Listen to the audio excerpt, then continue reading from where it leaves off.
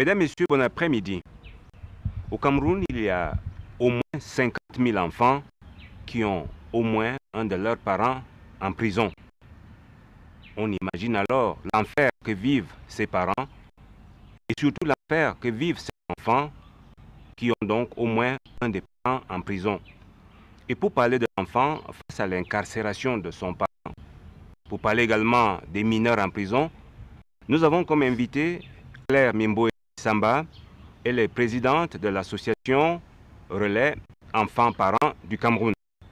Mais avant de la retrouver, suivons ses avis de l'homme de la rue sur la situation de l'enfant dont au moins un des parents est en prison. Moi, je crois qu'il faut, il faut aider ces enfants à aller à l'école, c'est-à-dire payer la, la, scolarité des enfants pour aider les parents euh, à les éduquer, quoi, pour que les enfants ne se perdent pas. D'après vous, qui doit jouer ce rôle, la famille ou l'État? L'État. C'est l'État qui doit jouer ce rôle. La première des choses, c'est d'abord de voir les problèmes de cet enfant, savoir ce qui peut l'intéresser, ce qui lui manque hein, et ce qu'on peut faire pour lui. C'est-à-dire approcher d'abord l'enfant, le comprendre, voir ses problèmes, essayer de, voir dans quelle mesure on peut l'aider et qui peut, qui peut l'aider? Parce qu'il y a ce problème. L'État peut l'aider. Comment l'État peut l'aider? Euh, Disons, nous, en tant que la famille ou bien citoyen, hein, qu'est-ce qu'on peut faire pour cet enfant? C'est normal que le parent dise la vérité à l'enfant, puisque euh, normalement, euh, sais pas, hein, je sais pas comment dire à ce niveau-là, puisque la vérité, c'est une lumière pour que l'enfant grandisse en sachant ce que les parents ont, si les parents ont commis une faute ou bien, en, fait... Mais le parent ne peut pas avoir honte de dire la vérité à son enfant Ce ne serait pas normal. C'est tuer l'enfant, c'est continuer à tuer l'enfant. Il faut que l'enfant grandisse en sachant ce que le parent a commis pour que lui-même aussi se corrige. Ceux qui ont le, le, leurs parents en prison doivent être assistés. Par, par qui et comment?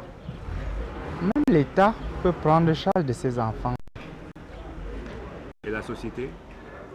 Bon, la société à travers les organismes comme l'Église peut aussi les assister. Je crois que j'ai souvent l'habitude de voir l'Église catholique faire des dons pour ceux-là en prison. Et je crois que c'est une bonne chose. C'est normal que les parents disent aux enfants ce qu'ils ont fait pour être là-bas. Je pense que ça serait, pas, ça serait de ils vont donc s'arranger pour mieux gérer la situation et continuer à vivre. Parce que si le parent est en prison et qu'il a fait une faute, ce serait mieux de, de vivre avec ses fautes sans rejeter toutefois son parent. Son parent reste son parent. Est-ce que le parent ne peut pas avoir honte de dire la vérité à l'enfant? Euh, Je ne pense pas. Un parent, un parent responsable euh, ne doit pas avoir honte de dire la vérité à ses enfants. Oui. Les aider. Mm -hmm. Parce que quand la, le père est en prison, l'enfant ne peut rien faire justement. Bon, le parent va dire l'enfant ce qu'il fait en prison. Il a fait pour qu'on le mette en prison? Le parent ne peut pas avoir honte de dire la vérité Ça dépend, hein, ça dépend de, son, de, de comment on l'a mis là-bas. Mhm. De, la faute qu'il a commise, c'est ça? Ça dépend de la faute qu'il a commise. Merci beaucoup, Parce que si c'était, il, aura, il aura honte. Mhm.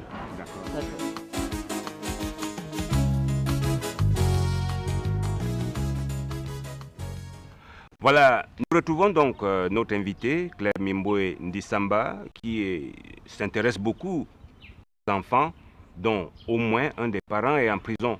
Et justement, euh, je vais vous demander euh, pourquoi cet intérêt pour cette catégorie d'enfants euh, qui a donc au moins un des parents en prison? Merci pour l'intérêt que, que vous portez à, tout ce que nous faisons au sein des prisons.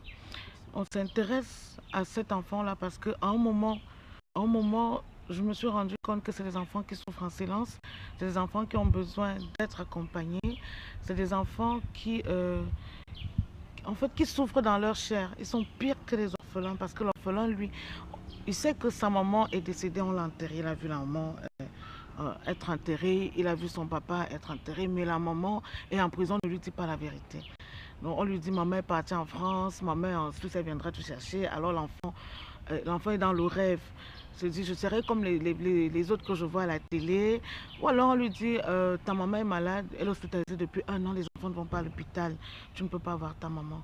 Et cet enfant grandit dans le mensonge. Et lorsqu'il découvre la vérité, par soit le voisin ou euh, un membre de la famille, c'est la déchirure, c'est la déception. C'est et c'est cet enfant qui va aller dans la rue parce qu'il s'est senti trahi.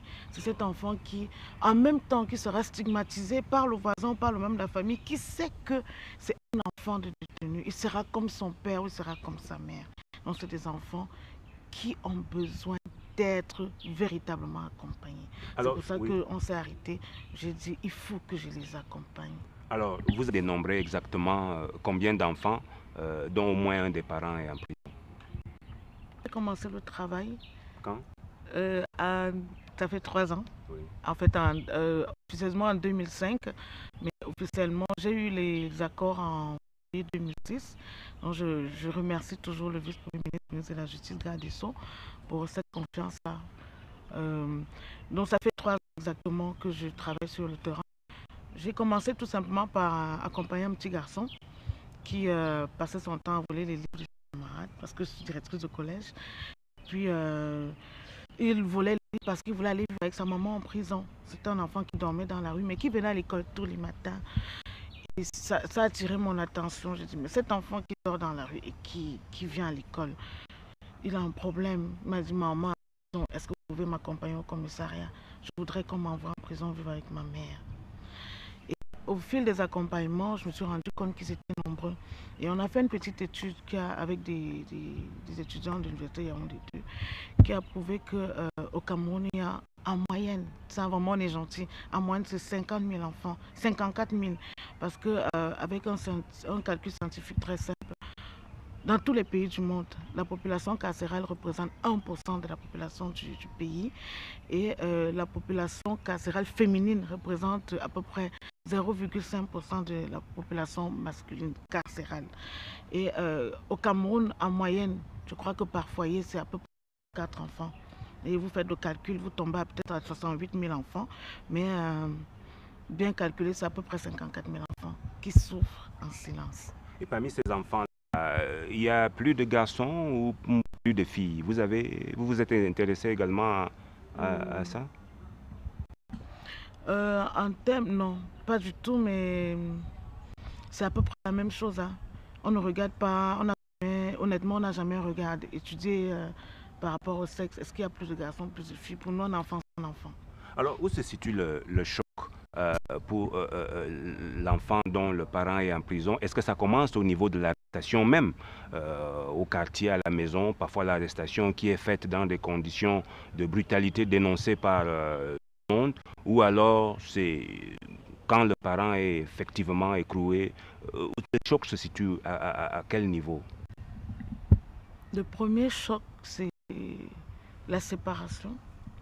Parfois, c'est l'arrestation. Ça dépend. C'est pas bon. Les, les- les officiers, en fait, de police ou toutes les personnes qui sont impliquées dans le, processus d'incarcération d'un parent, c'est des êtres humains. Des êtres humains, mais parfois il y a des dérapages. On peut venir prendre un parent, lui mettre des menottes devant son enfant. Ça, c'est vraiment un choc terrible.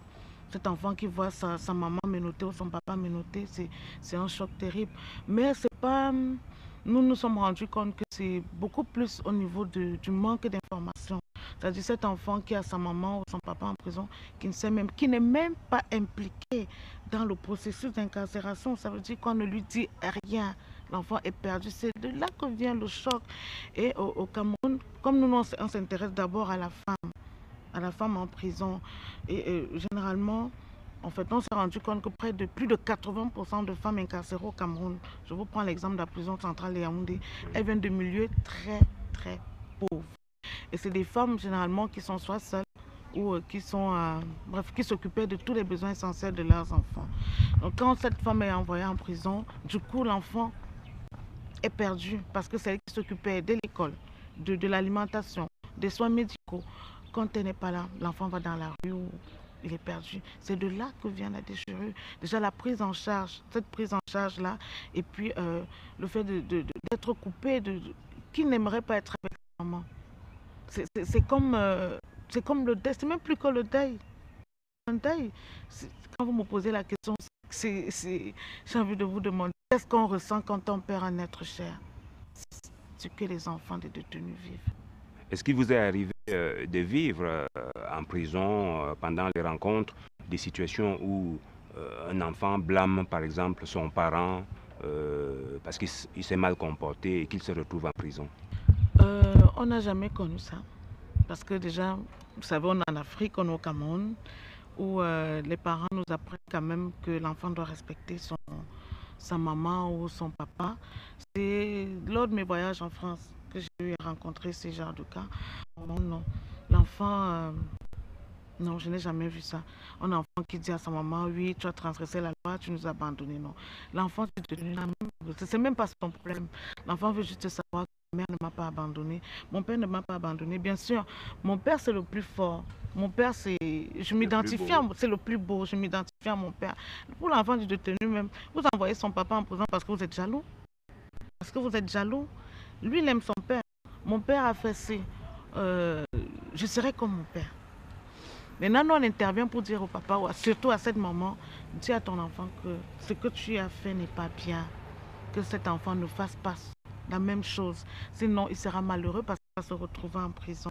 On va revenir euh, tout à l'heure au problème de la vérité à, dire à l'enfant, mais je, voulais savoir, euh, vous, occupez, vous vous occupez de ces enfants dont au moins un des parents est en prison, euh, d'où vous viennent les moyens pour mener cette action? Est-ce que euh, il y a cette ombre qu'on voit derrière vous, le président d'Issamba Est-ce que c'est lui qui est derrière tout ça? La question est récurrente, c'est pour ça que je, ris. Vous savez, quand vous avez euh, un projet comme celui-là, c'est-à-dire êtes dans le social, dans l'humanitaire, les gens ne comprennent pas toujours les gens ne comprennent pas. Euh, quand j'ai monté le projet, je suis allée voir euh, des mécènes, des, des, auprès des entreprises, mais, et même auprès des particuliers. Pour euh, on dit, mais c'est quoi? C'est vrai, tu t'appelles tel, mais qu'est-ce que tu es allé faire dans les prisons, dans ces endroits souillés? Ça ne nous intéresse pas. Qu'est-ce que la prison peut me rapporter? Et je me suis dit, mais c'est pas possible. J'ai donc commencé avec mon petit salaire en deux parce que j'ai eu la grâce, la chance de ne pas avoir des personnes à ma charge, ça veut dire des petits cousins qui veulent aller à l'école, puisqu'on a des écoles. Euh, voilà, j'ai dit, je, vais commencer avec très, très, très peu de moyens. Puis, euh, au fil des accompagnements, je vais aller vers des gens pour dire, voilà ce que je fais. Mais je n'ai pas les moyens. Est-ce que vous pouvez compléter un 5 000 par mois ou 1 000 francs? C'est beaucoup pour que je puisse, au lieu d'accompagner un enfant, le petit Joël, que j'accompagne deux, trois enfants. Et c'est comme ça que c'est parti. J'ai fait des correspondances, mais la première année, j'ai adressé 98 correspondances. Tout le monde m'a dit, ah, c'est très bien ce que vous voulez faire, on n'a pas prévu dans nos budgets. C'est bien, vous félicite, c'est bien. Mais je ne me suis pas découragée. J'ai créé la fondation MTN. Ils m'ont dit, on ne fait pas ça. Je suis repartie j'ai rencontré le directeur général adjoint et qui, euh, qui a dit Ah, c'est bien, on va vous accompagner. On est parti comme ça. Donc aujourd'hui, je, je, suis soutenue par justement la fondation euh, MTN, je suis soutenue par la fondation Total de France, je suis soutenue par les supermarchés Casino. Et Joseph par, euh, dans tout ça Oui, c'est vraiment, je dis merci à, à mon Dieu parce qu'il il m'a donné ce ce papa et cette maman, euh, ces deux personnes qui tiennent, toute ma famille me soutient. Euh, par quoi? Il m'a donné les locaux à vie. Euh, puis chaque année, il y a un budget qui est. C'est pas. C'est combien? C'est 1 500 000 par an. C'est énorme. C'est énorme. C'est énorme. Donc, il y a des personnes comme ça qui se lèvent qui nous soutiennent, à qui je dis merci. Je profite de, de, de, de pour dire merci à toutes les personnes qui nous accompagnent. Y a la Fondation Samuel et Tofis qui nous accompagne beaucoup dans, en matière de justice juvénile.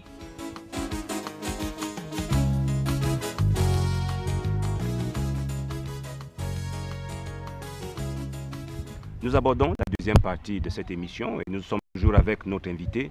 Euh, Vous avez euh, tantôt parlé de la vérité à dire à l'enfant. Quelle vérité faut-il dire à l'enfant?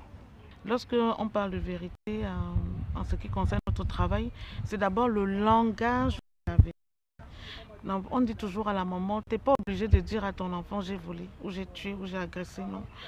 Euh, on schématise, on a des méthodes pédagogiques très simples. C'est de, peindre des, petits cailloux en rouge. Dans ces cailloux pardon, en rouge, on met tout ce que la loi interdit.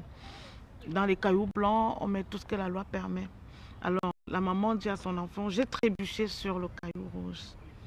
Ne trébuche pas. Tu n'as pas le droit de, trébucher sur un caillou rouge, mais tu peux trébucher sur un caillou blanc. Il faut aimer euh, les autres, il faut, il faut être gentil. Tout. Et euh, à un moment dont on dit à la maman, c'est toi qui sais quand est-ce que ton enfant est prêt à recevoir ta vérité, ta vérité à toi.